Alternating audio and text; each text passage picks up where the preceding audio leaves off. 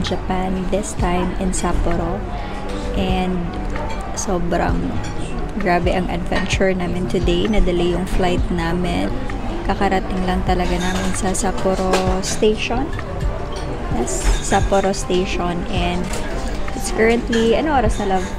Gana 5. Ah, mag 5 Breakfast, lunch p.m. na. Wala pa kaming breakfast. Wala kaming lunch. Yung lunch namin is yung onigiri lang. And then, 5 p.m. na. Nandito kami sa isang curry place sa Daimaru sa, sa Sapporo Station. Kakatapos lang namin mag-order. And sana dumating na siya. Gutom na gutom na mi. Ang acid. Ni Saka na ang kabuhi. So, ayun na nga. So, dapat yung flight namin from Cebu to Tokyo is 2.25 a.m. Kaso, nung nag-boarding na kami, may something daw sa plane na hindi pumasa sa security, chu-chu-chu. So, ayun, na-delay yung flight namin. Um, instead of 2 a.m., 5 a.m. na kaming nakalipad. And that means, instead of 8 a.m. kami mag-arrive sa Japan, mag-arrive kami around 10 or pa-11 na siya. And then, what's worse is, yung flight namin to Sapporo, 12.40 p.m. But since almost 11 man kami nakarating, we only have an hour and a couple of minutes para gawin lahat yung security, immigration, customs, baggage claim, transfer to Terminal 3. And nakaya naman lahat. At least, hindi na kami nagbayad or hindi na kami nag-transfer or hindi na kami na-transfer sa, sa ibang flight. I'll talk to you kapag energized na kami kasi ngayon wala kaming tulog, wala kaming kain. Pero lumalaban because laag lagi.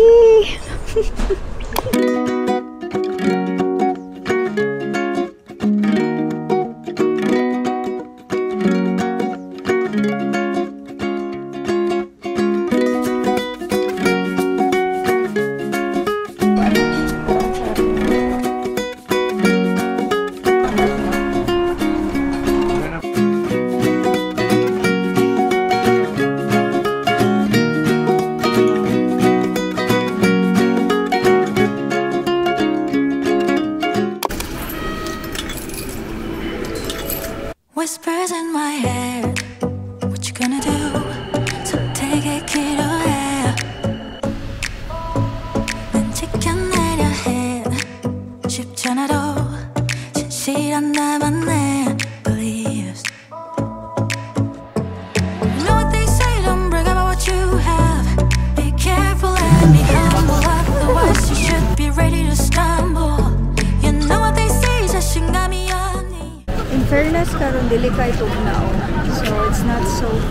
today.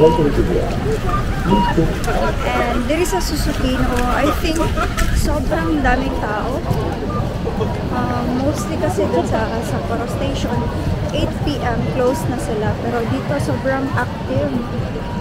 Si Brian nandun sa hotel nag-work.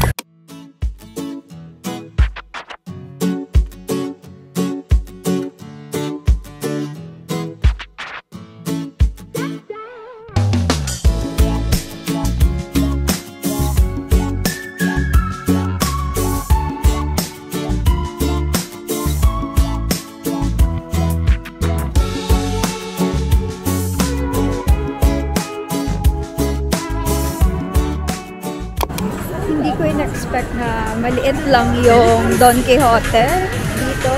Or baka wrong lang ako. Baka may iba pa. Wrong lang ako. Cross muna tayo ng road. Hangin kayo, sis! Medyo malamig na today. Lumalaban pa din ang aking jacket. There's a lot of people in here.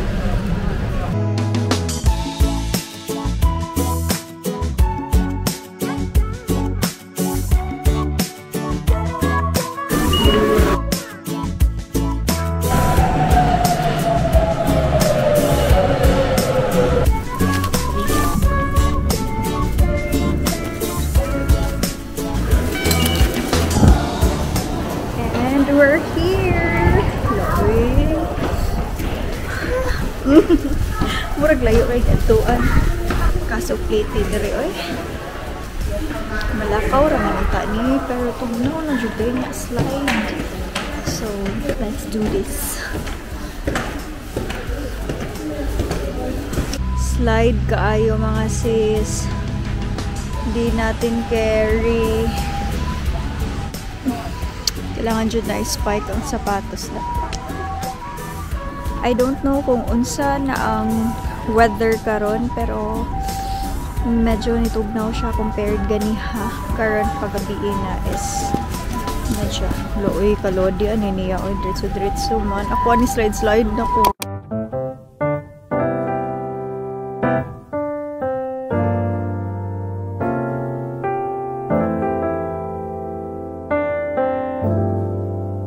So,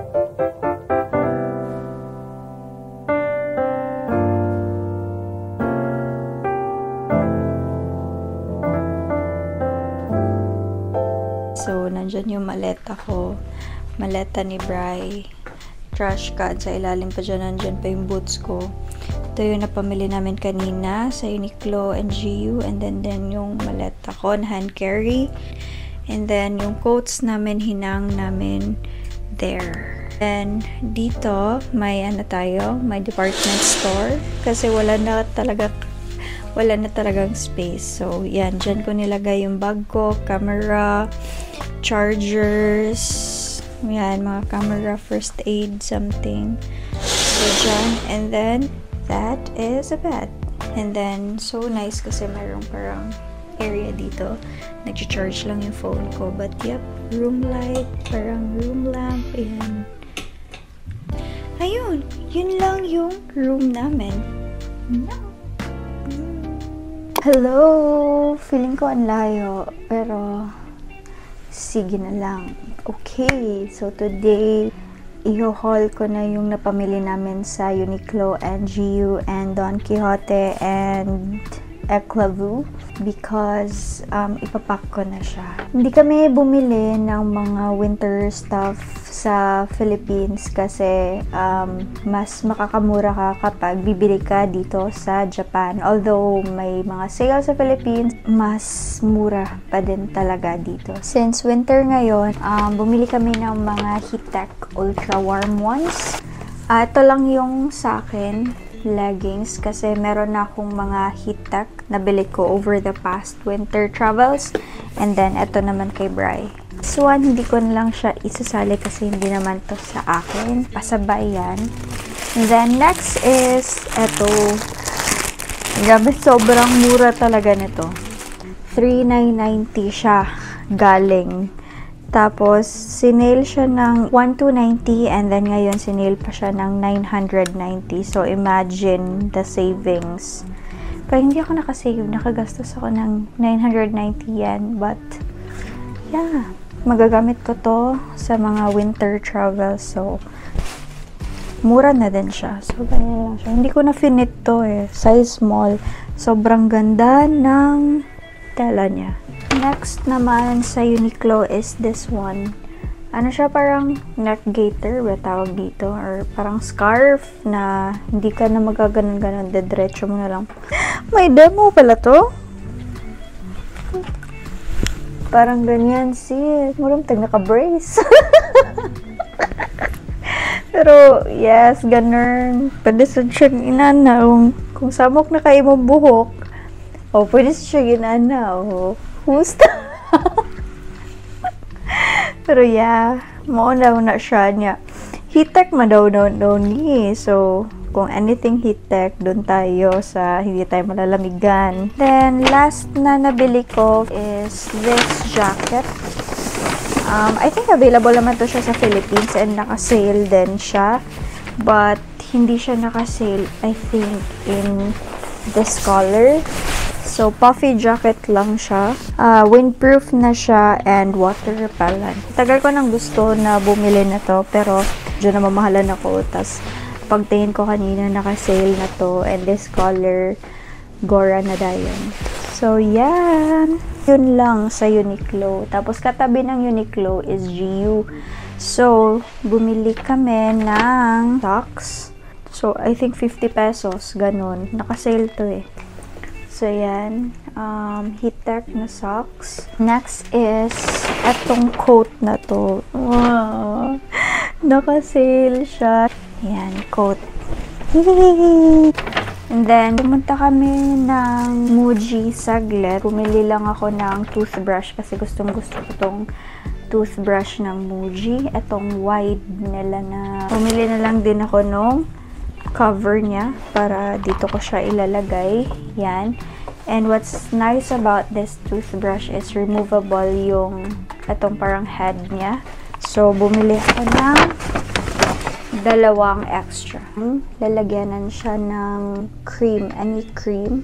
Matagal ko na to siyang gusto, pero di ko siya mabili sa Philippines kasi medyo mahal siya. Yan. So, this is it. Ito yung packing cube. Yan. So, I think yan lang. Yan lang yung nabili namin for, oh yeah, sa Don Quixote pala. OMG, this one, number one to sa Japan. If you come here and gusto nyong i-try yung eyebrow nila, eto, gustong gusto ko to, actually. Next is eto. Oh, tugnawon pag ay tani. So, bumili ako ng hot pack. Hindi siya yung stick-on version. Ano siya yung i-hold mo lang siya. So, doon kanina ko lang nalaman. So, ito, ito daw yung um, indicator na hindi siya stick-on type. I think yung pagbasa nito is Haranai. Hindi ko sure. Nakita ko lang sa internet na ganun daw.